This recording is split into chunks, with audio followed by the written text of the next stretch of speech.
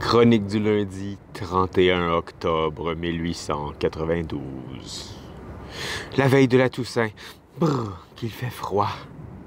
Pas ce froid de la température qui vous saisit à la figure, aux mains, aux pieds, mais cet autre froid qui glace l'âme, étreint le cœur et vous met dans la tête les idées les plus ternes et les plus sinistres.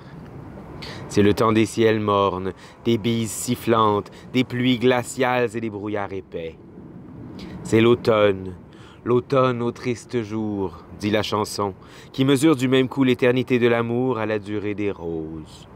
Hélas, est-il bien sûr que quelques amours durent aussi longtemps? Mais nous voici au 31 octobre, Halloween, comme l'appellent les Anglais. Les superstitions populaires ont donné à ce jour un caractère particulier, car il n'y a pas un autre jour dans l'année, je crois, auquel il soit attaché un plus grand nombre de pratiques superstitieuses.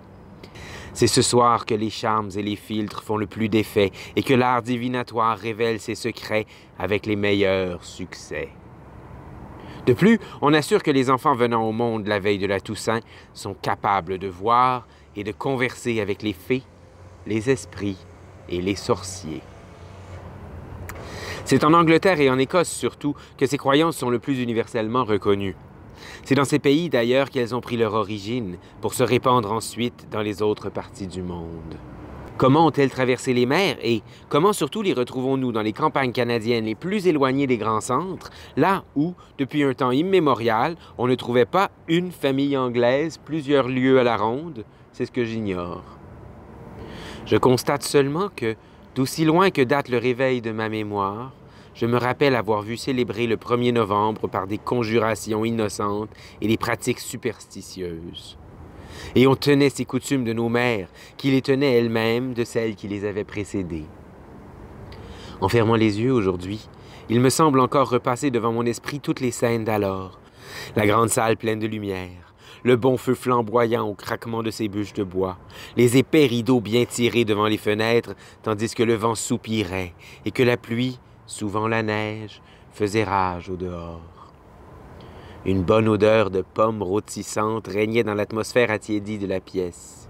Sur la longue table, où tant de fois, j'aime à lui rendre ce témoignage, on a rompu le pain de l'amitié, étaient disposés les accessoires nécessaires aux conjurations du sort. D'abord, trois soucoupes. Une pleine d'eau, l'autre de terre, mais la troisième doit rester vide. Que celui ou celle qui veut consulter le destin se couvre les yeux d'un bandeau et aille toucher au hasard l'une des trois soucoupes. Si c'est dans l'eau que ses doigts vont se tremper, c'est un signe de remariage. Si c'est la terre, c'est qu'on doit partir avant longtemps, les pieds devant, pour le cimetière.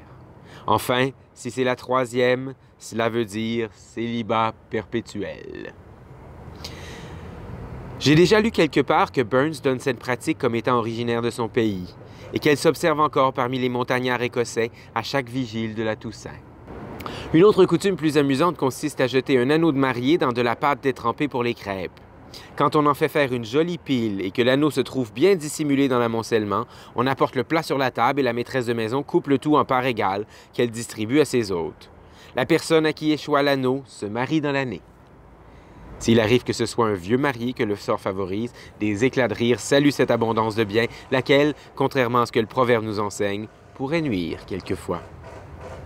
Si cette superstition n'est pas canadienne, elle mériterait de l'être, à cause des crêpes.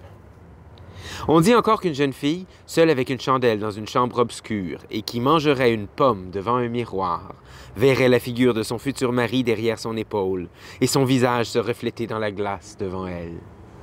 C'est ce que j'appellerais volontiers un moyen héroïque, et pour l'essayer, il faut plus qu'une bonne dose de curiosité. Connaissez-vous ce que c'est de faire tourner le crible?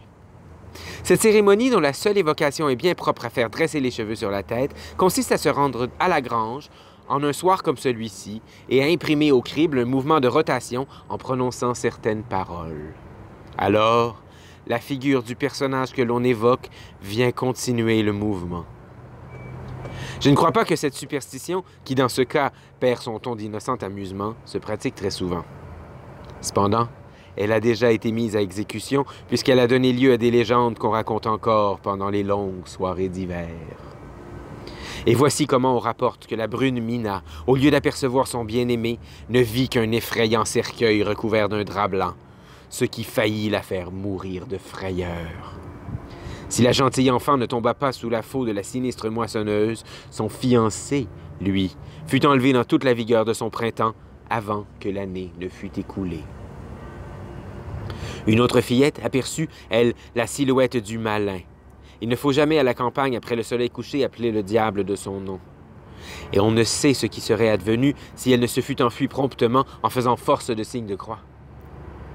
La morale est donc qu'il est dangereux de se servir de cet expédient pour connaître l'avenir, et même au taux où les maris sont cotés de nos jours, je ne crois pas qu'il vaille la peine d'être tenté. Il paraît que les jeunes gens de Montréal avaient, il y a quelques années, une singulière manière de célébrer Halloween. On décrochait les barrières, quelquefois même les persiennes, qu'on allait ensuite échanger avec celles des voisins les plus éloignés. On conçoit aisément les ennuis que ces espiègleries occasionnaient. Aussi, voyait-on au temps où ces mascarades florissaient, des gardiens aux barrières de chaque propriété de la rue Sherbrooke. Ce qui est plus amusant que tout cela et qui vous ferait passer, chère lectrice, un joli quart d'heure ce soir, c'est la divination de vos destinées futures au moyen d'un blanc d'œuf. On fait glisser dans un verre aux trois quarts rempli d'eau le blanc d'un œuf. Puis, tenant le verre dans sa main, on l'élève à la lumière d'une lampe. Et vous attendez que toutes les formes disperses que développe l'albumine vous disent quelque chose. Tantôt, on dirait de gracieux paysages, aux arbres vaporeux, aux maisonnettes dont les cheminées laissent échapper une tremblante fumée.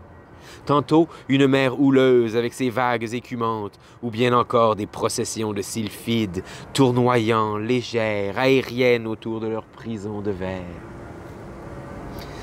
C'est dans cette silhouette que vous pouvez lire votre destinée, comme les filles du Danemark augurent de leur avenir par les arabesques que trace le plomb fondu, versé par leurs blanches mains dans des cuvettes d'eau à travers les claies d'osier.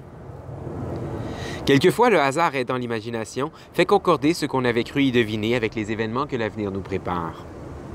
Il y a trois ans, une amie, une cousine et moi tentions cette expérience. Notre amie, au doigt de laquelle brillait alors l'anneau des fiançailles, voyait d'interminables défilés de blanches vierges passer devant ses yeux. On crut à une suite prodigieuse de jeunes mariés accompagnés de leurs suivantes. Pourtant, aujourd'hui, elle porte avec ses compagnes, au couvent de Kenwood, le voile blanc des novices. Ma cousine, elle, ne voyait qu'une plaine unie comme une grande mer d'où s'élevaient de légers embruns, derrière lesquels on croyait distinguer des mâts de navires. Quelques mois plus tard, elle se mariait et allait demeurer à Malte pour y suivre son mari, officier dans la marine anglaise. Moi, mais moi, je ne dis pas ce que j'ai vu. Joyeux Halloween. Presque le 1er juillet. à demain.